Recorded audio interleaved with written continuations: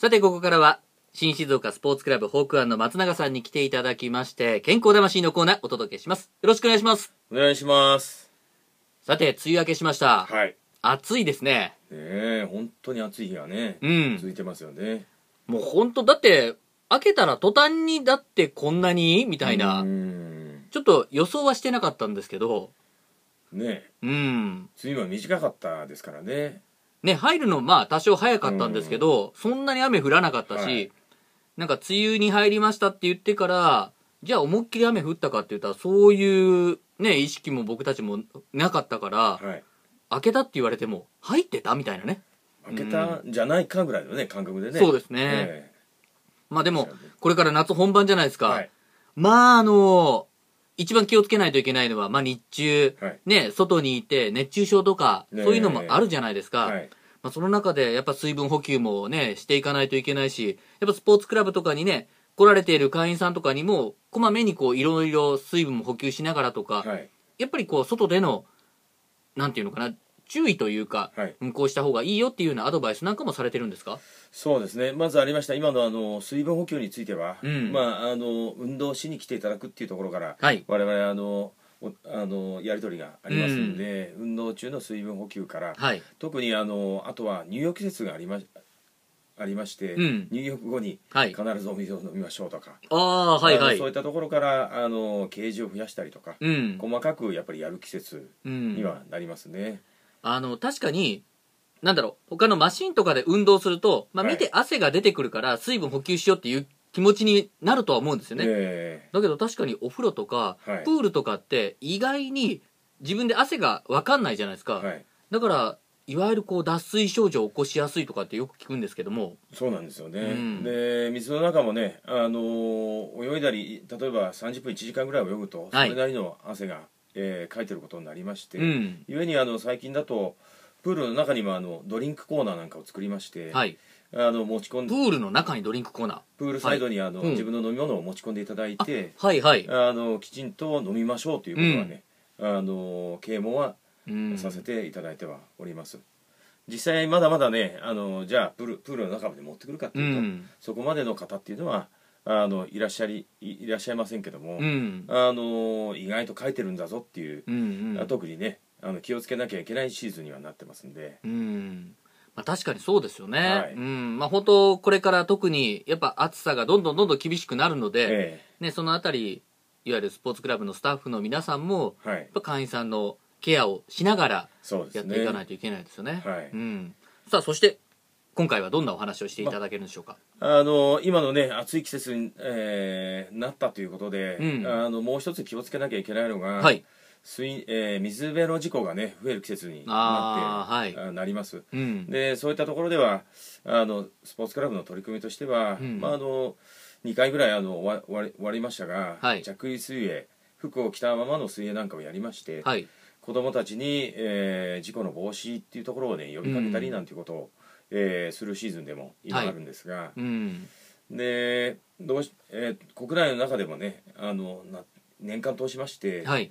1000人近い人がねうん水辺の事故で毎年毎年はい。亡くなってはおるおるんですが、うん。まああのここのところ特に暑い年っていうのははい。水辺の事故が増える年っていうにもなりますんでね、あの呼びかけの方を、えーしていきたいかなっていうところはうんあ。ります。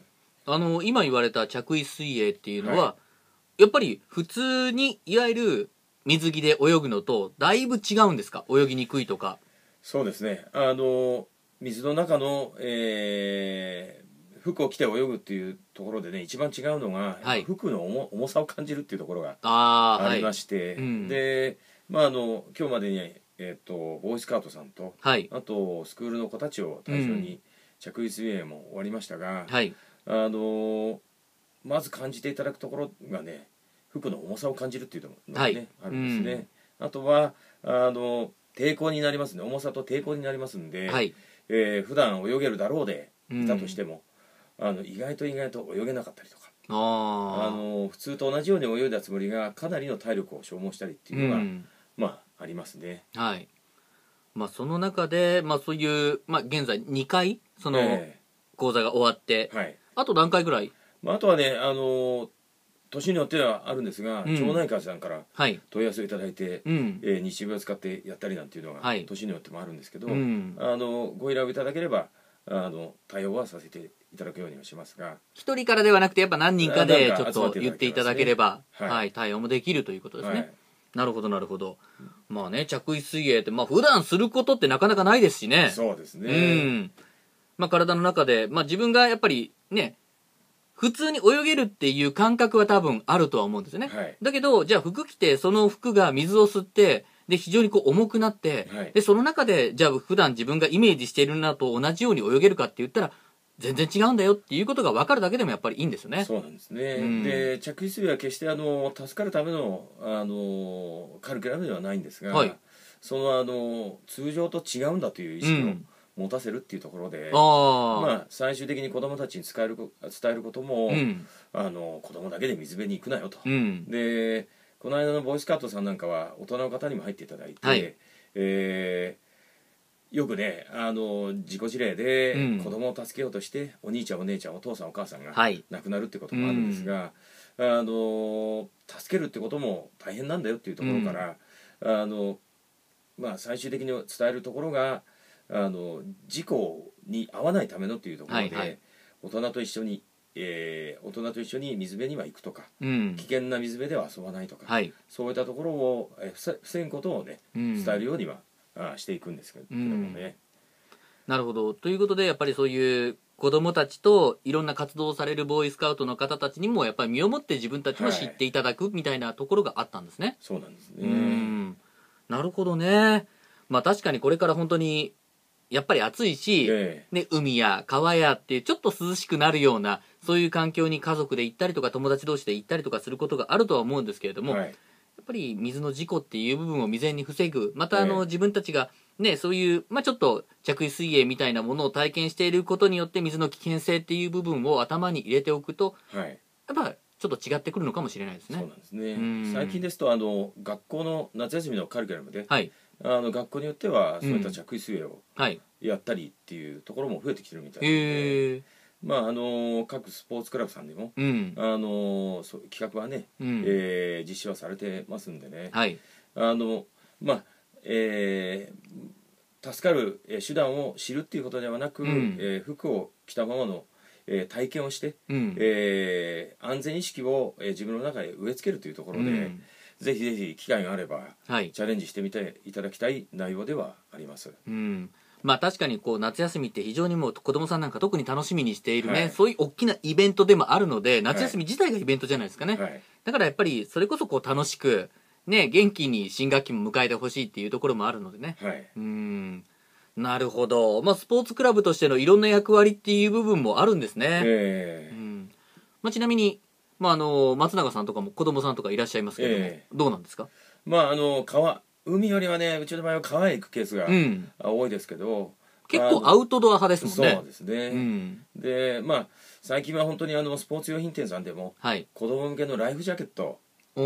もあの安価で販売をしておりますんでね、うん。あの最終的にはあ本格的に遊ぶとなると、うん。あのライフジャケットをつけさせてはい。遊ばせるようにはうんしております、あなるほど。やっぱりそういう部分でのケアもしっかりとしてっていうところですね、やっぱりあの、おあの起きてからではなく、うん。防ぐ責任っていうんですかね。はい、そういったものがあるんじゃないかなというふうにはあの考えてはおるんですが、うん、まあある意味こう大人の責任ですよね、ええ。やっぱ子供たちをやっぱり連れて行って楽しませるっていうプラスやっぱり子供のやっぱり怪我であったりとかいわゆるこう命をこうええ。守るっていうのは大人がやっぱりしないといけないところはありますから、はい。そういう前もっていや未然に防ぐ、はい。事故を未然に防ぐっていう努力っていうことはしないといけないですかね、えうん。